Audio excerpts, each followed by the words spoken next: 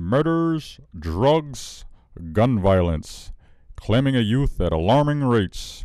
To see a neighborhood go from sugar to shit practically overnight has led many long term residents to the question is it time to leave the woods?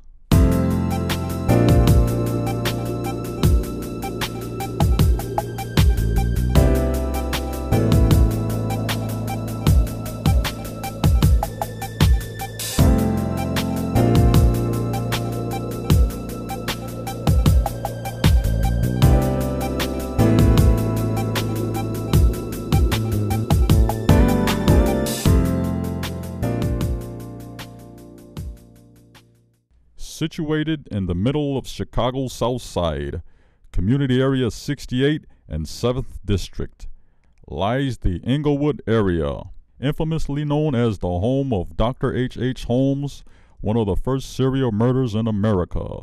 His hotel was located at 63rd and Wallace and the scene of most of his crimes. The story was featured in Erik Larson's best selling book, Devil in the White City. Crime is nothing new to the area. Although overall crime is down in the area, homicides are up 12.8%, according to the crime statistics released by Chicago Police Superintendent Jody Weis. Almost 40% of the murders were gang related and 46% involved known acquaintances. The school systems in Englewood have taken a beating. Those who have survived the violence plagued streets will manage to graduate possibly the first in her family to do so. In a survey of 40 seniors at Robeson, two thirds say they had friends who had died violently. The urban schools go through a great deal just to get students to graduate. Counselors and teachers have helped students find shelter for themselves and their families, visited students in jail, and encouraged teenage pregnant mothers to continue. Sitting in a gang war zone, peace is few and far between. For many, school is the safest place for them.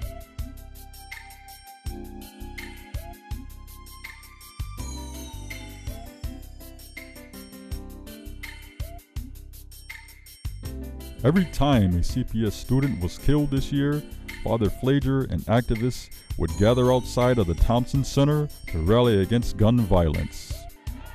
It would be one of the many rallies to occur.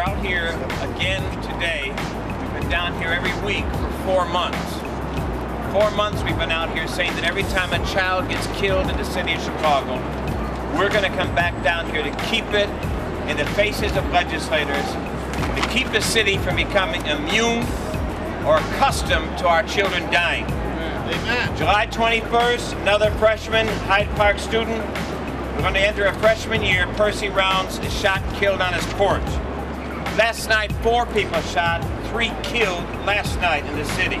We're down here because 55% of the suicides that happen in this country happen for those that have guns in their houses three to five times more people get killed in suicide through suicide who have a gun in a house than not. We're here because it's more likely for a gun in the house to harm somebody than to protect somebody. We're here because we find that in our neighborhoods, it is easier to find a gun in our neighborhoods than it is a grocery store. Something is wrong with that kind of reality. Why we're here because we want people to be outraged that children are dying in the city of Chicago and cities across this country. To be outraged because somebody died. It's not a concern whether you're safe at the taste. Are you safe in your neighborhood? Are you safe on your porches? Are you safe in your backyard? Are you safe in your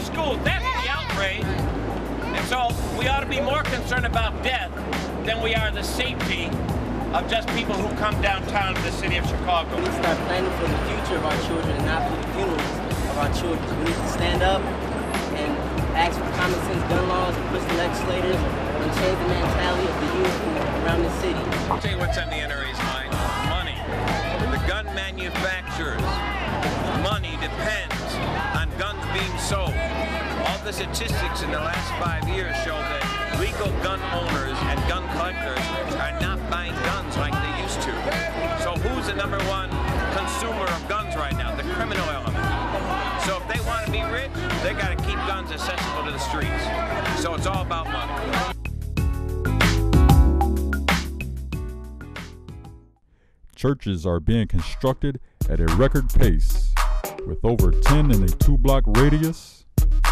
Religion does not seem to be the answer for Englewood. Preachers and pastors are encouraged to take it to the streets. Englewood has seen a drastic change in property value and upkeep as well.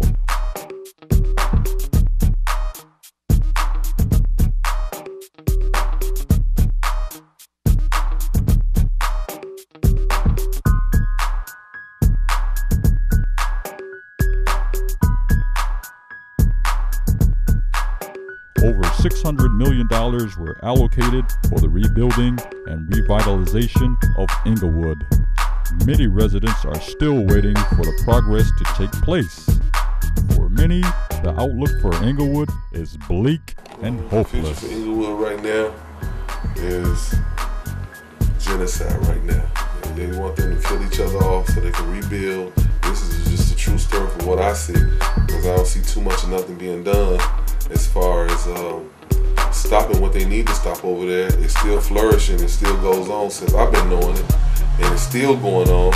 But in the same token, they, they ready to rebuild and re, relocate people from over there and, and, and put money into that area now.